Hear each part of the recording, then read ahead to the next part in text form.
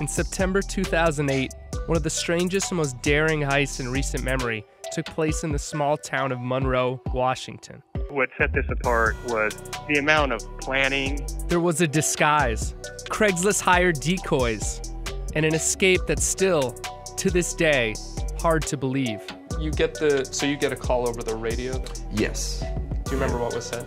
That he was floating down uh, the river in an inner tube. The media jumped on the story.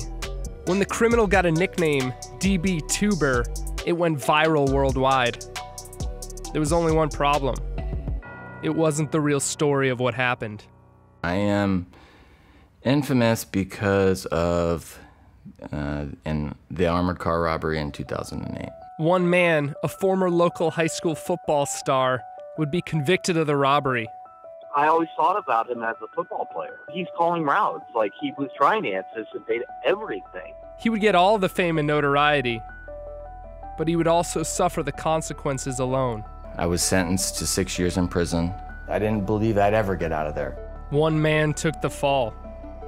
But was he the only one responsible? And, and actually, even now, I, I don't quite know.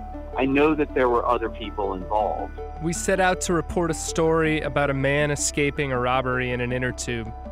What we found was so much more. Why do you think the story changed? Mm, maybe they wanted it to be more romantic.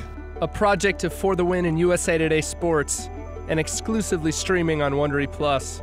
Season one of The Sneak will examine the strange tale of DB Tuber. You know, I'm a liability. I'm crazy. I mean, that's proven. You go onto Google, it will tell you. To listen, head to wondery.com slash PLUS, where all of season one is available now, ad free.